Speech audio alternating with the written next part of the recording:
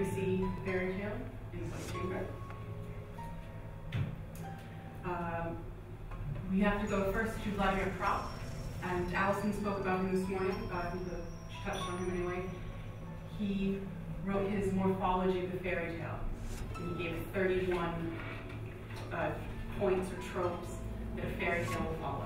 You don't have to follow all 31, but they are, you can pick them out you read a fairy tale story. It's easy to see the progression. Well, this image, as I'm pretty sure, is not really that uncommon. This of image of wealth is found back. So, the questions? Hear where they come from, and they come you know, why they it, and why they popping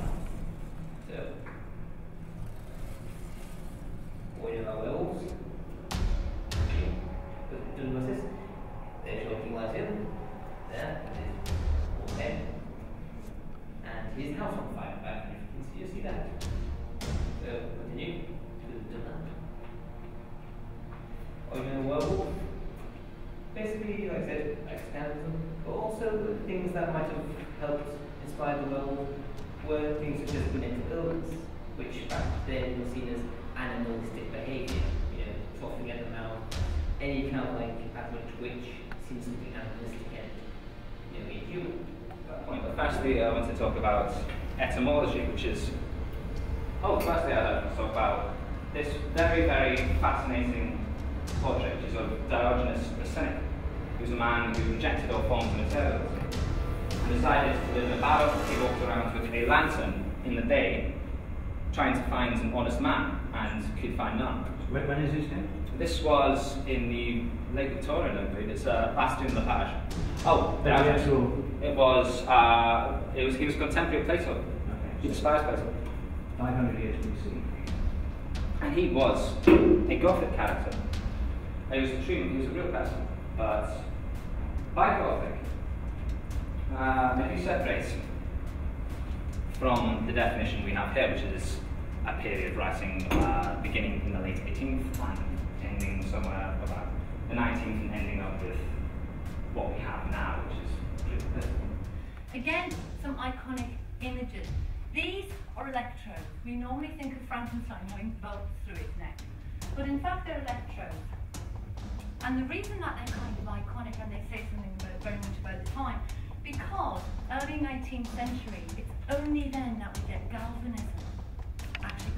So Mary Shelley's novel is really very modern, and it shows us a number of issues. One that, as a young woman, for her time, she's a very, very educated young woman, and she knows a great deal about science, which ladies were not usually educated in.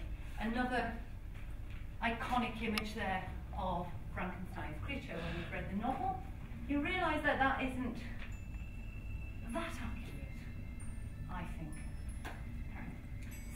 Of it. There is the ghost story competition. You know, you probably all talked about the ghost story competition at the Villa Diodati.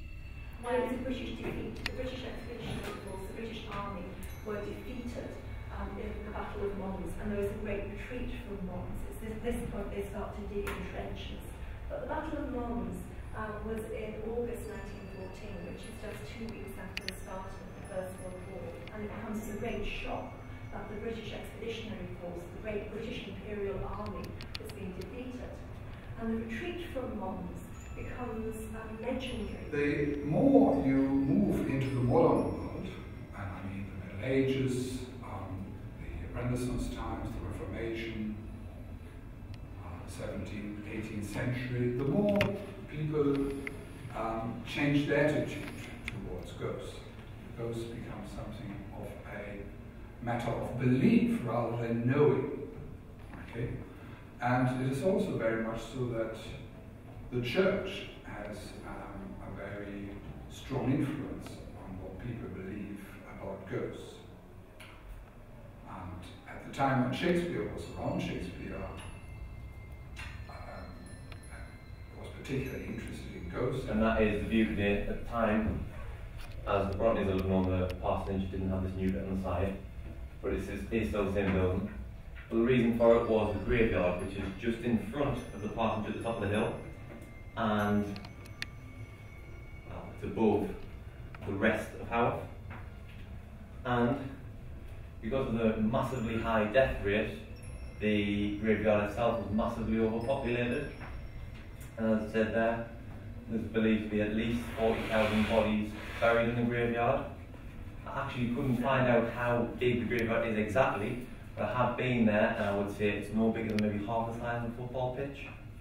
Which sounds a lot, but it's not considering the amount of bodies.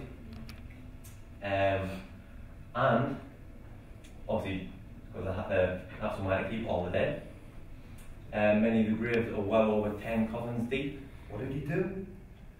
He travelled down to London. When he was on the borders, he stopped, he had a look round. Thought the people were barbaric and thought, I'm going to sort these out when I get down to London. Gets to London, sit, sits himself on the throne, and never ever goes back to Scotland. What he does do is he sends armies up to the borders and pacifies the borders. In other words, hangs all the chieftains and the lairds and drives the people out, sends some of them to Ireland, some of them to Holland, them to Virginia in America. And he makes lots of land, which he puts his people in, English people. They become landowners, and they have sheep, and build nice houses and things. And the Scots are driven out, or the borderers are driven out. So that's James. Nice job.